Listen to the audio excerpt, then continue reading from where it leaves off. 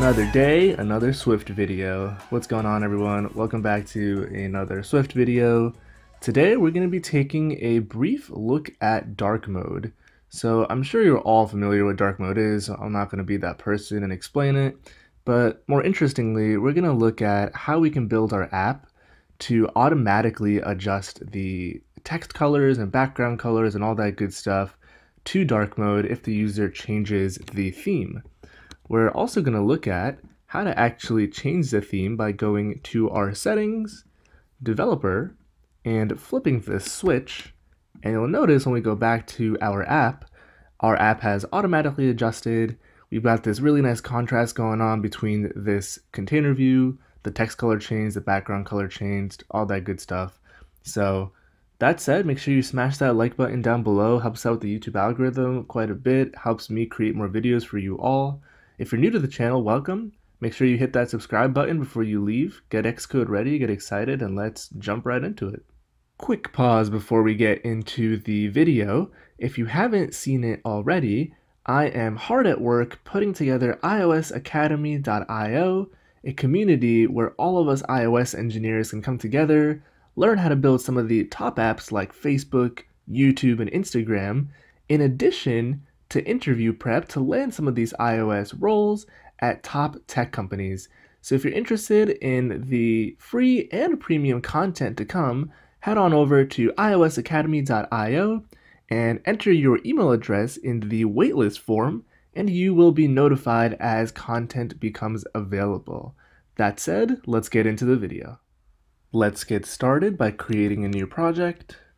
We'll stick with a single view application and let's call this project dark mode example.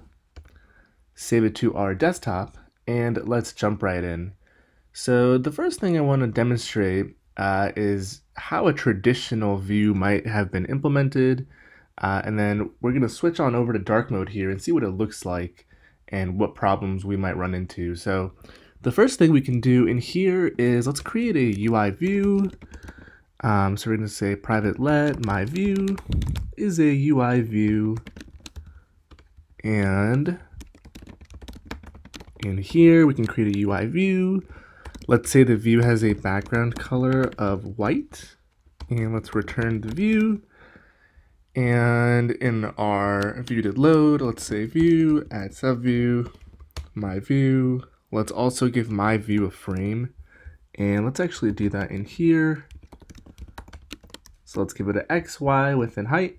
So for the x, we'll say 20, we'll say 100. Uh, for this, we'll say 200 and 100. And let's also copy this and create a label. So we're to say my label, which is a UI label. And let's get rid of the frame part. Make this a UI label. And we want the text color in this case to be black, so it's visible on the white background. And it's probably probably a good idea to rename these variables. So let's rename these. And in our my view, we can add a subview of my label. And let's set the my label frame to my view dot bounds. So let's run this and see what it looks like from a color perspective. So we should get our my view. Well, actually it would be a good idea if we set a background color and some text so we can actually see it. So let's make the background color um, of the main view, let's say black. And let's also set the label text so we can actually see something there.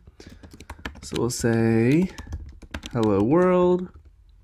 And we'll also set the text alignment to be centered. So let's see what we get now. Okay, cool. So we have our entire view is black, we have this white view, and then we have some text that's centered inside of it. So this looks good, it's legible for sure. So let's go in our simulator, uh, hit Command Shift O, or Command Shift H to get to your home screen, hit Settings, and come down here, go to Developer, and there's a dark mode toggle. So let's turn the switch on, and you'll see that the simulator enters dark mode.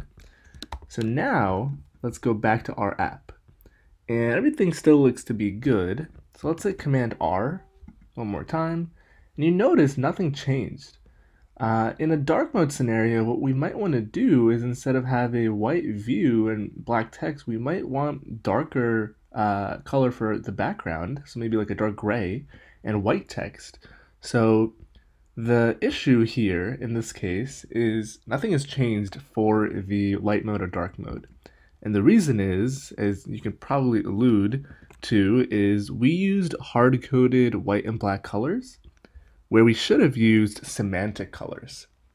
So semantic colors is this concept where under the hood, uh, Apple has defined a light and a dark mode variant of a color, and those colors can dynamically adjust based on the current theme.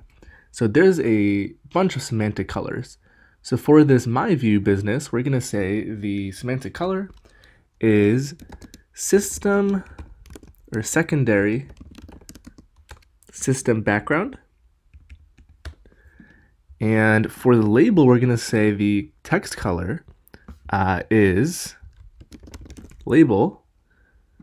And for the views background color, we're going to say the background is system background. And let's fix that. And let's hit Command R and see what this looks like now. So now we see the background is still black. The my view background is this dark gray, and then we have white for the label. But let's head on over to settings again and turn this toggle off and go back. And now you notice that the background is white. This is a very subtle gray, and this is black. So what's going on here is under the hood, by using semantic colors of this uh, like label, system secondary background. Uh, there's also tertiary system background.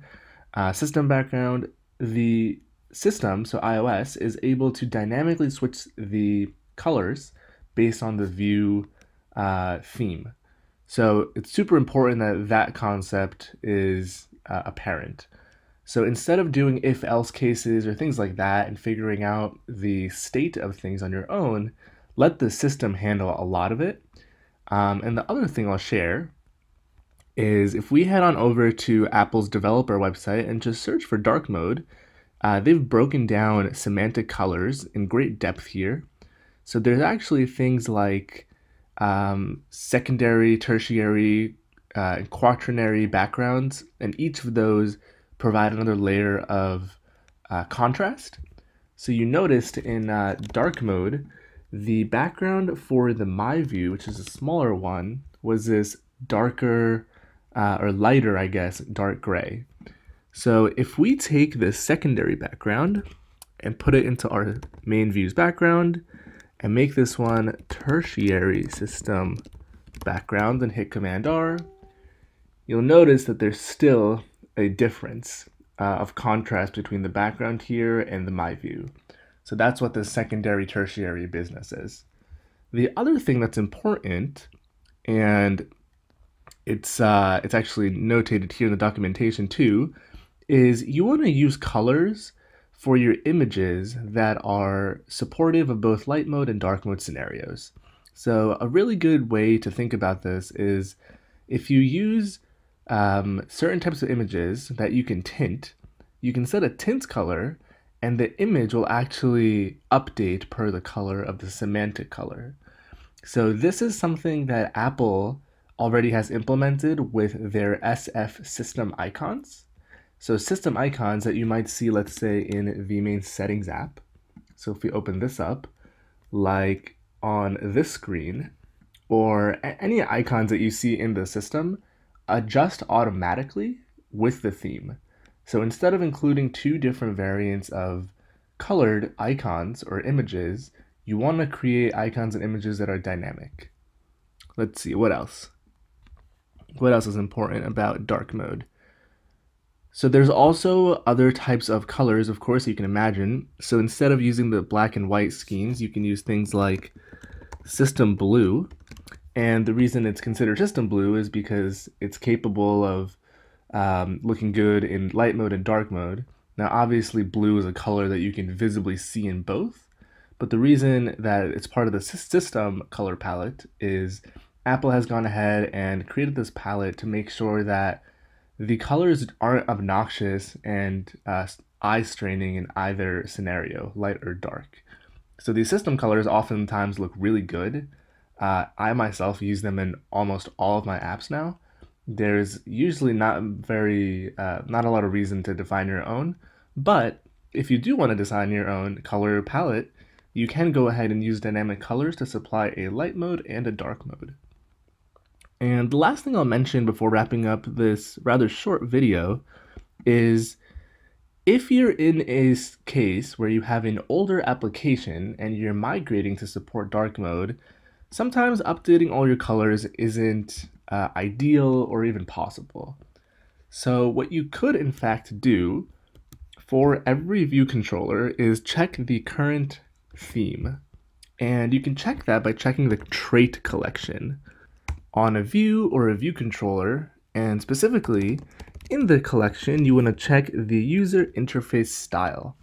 So this actually gives you a enum, and you can either get dark, light, or unspecified. So oftentimes what people will do, including myself, uh, when you're migrating an old legacy project to support dark mode, is have a switch statement. And if it's uh, dark, do something. Um, if it's light, do something. And if it's default, aka it's not specified for whatever reason, do something else. And the something, of course, would be reconfigure your user interface to use appropriate colors or themes. So this is how you can manually check the actual uh, coloring. It's strongly advised to actually use the color palettes and dynamic colors and such as uh, Apple extends dark mode and other color capabilities. It definitely helps your app be more modern and stay up to speed. Uh, and honestly, the other thing is also if you use this method uh, instead of just a migration tool, but a final way to ship dark mode supported apps, you're going to have to include redundant assets. So you can imagine if you have 100 images in your project, and now you want to include 100 that are dark mode uh, specific that support the color scheme, it makes your app size larger, which is not ideal for a number of reasons. So that's basically it. That is a very quick overview of what dark mode is, how to support it, what semantic colors are. Um, I will mention that all of this, in terms of coloring, is supported in the storyboard as well. So if you have outlets, uh, feel free to assign any of these semantic colors and everything will work as expected. So that said, if you haven't done so already, make sure you hit that like button down below for the YouTube algorithm, subscribe if you're new for daily Swift videos, comment if you have any questions or suggestions or just want to say hi. I always love hearing from you guys. Thanks for watching and I'll catch you in the next one.